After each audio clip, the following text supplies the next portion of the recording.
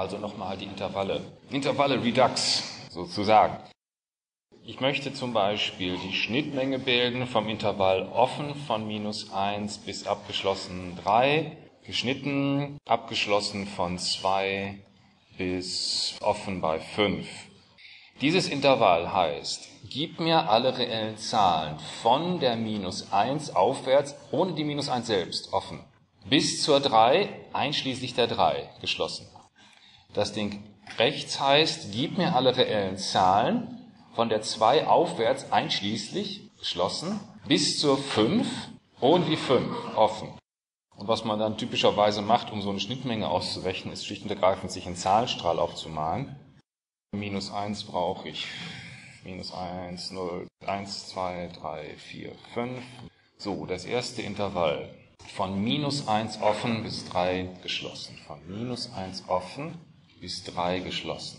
Der ist dabei. Das ist das erste Intervall. Das zweite Intervall. Von 2 geschlossen bis 5 offen.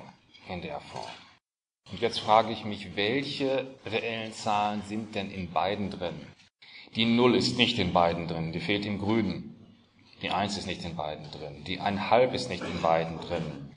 Anderthalb ist nicht in beiden drin. 1,9 ist nicht in beiden drin, sondern nur in der roten. Die zwei ist zum ersten Mal eine Zahl, die in beiden drin ist.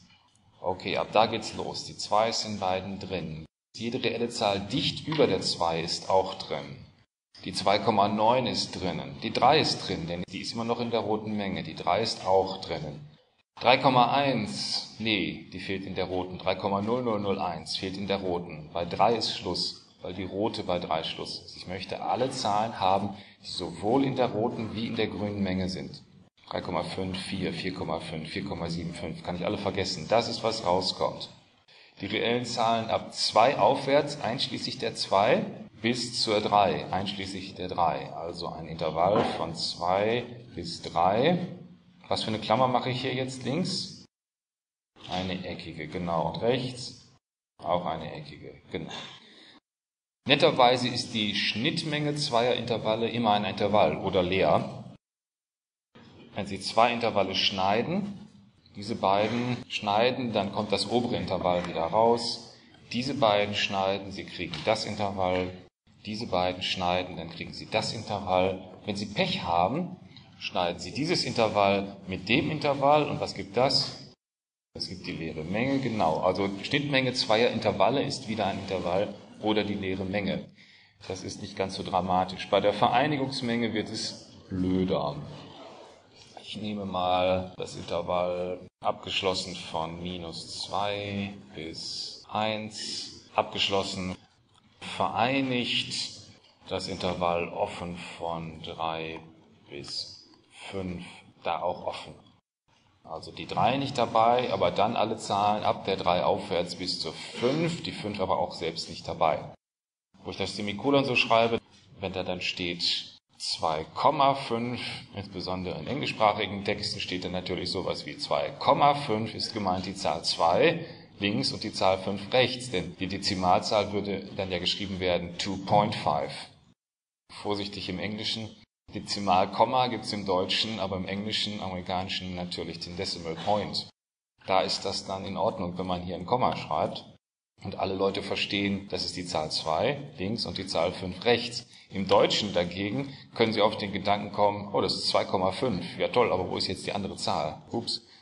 Ich würde im Deutschen sicherheitshalber ein Semikolon dahinter schreiben. Das sehen Sie auch in den Tabellenkalkulationsprogrammen, OpenOffice Excel. Die machen überall Semikolons in den deutschen Versionen um den Unterschied zum Dezimalkomma zu haben.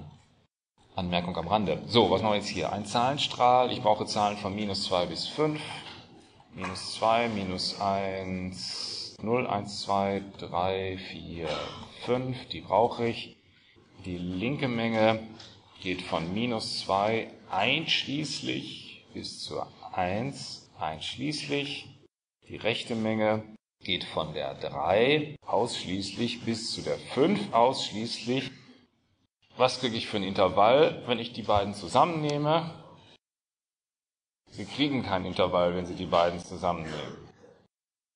Also Vorsicht, die Vereinigungsmenge von Intervallen ist gerne mal kein Intervall. Es kann ein Intervall werden, aber es muss kein Intervall werden. Dieses Ding können Sie ja nicht schreiben, gebe mir alle Zahlen von minus 2 bis 5, dann hätten Sie ja das dazwischen dabei. Das kann man nicht mehr geschickter schreiben. Das muss dann so stehen bleiben als Vereinigungsmenge zweier Intervalle. Den kann ich nicht retten. Gucken wir uns noch ein paar andere Fälle an.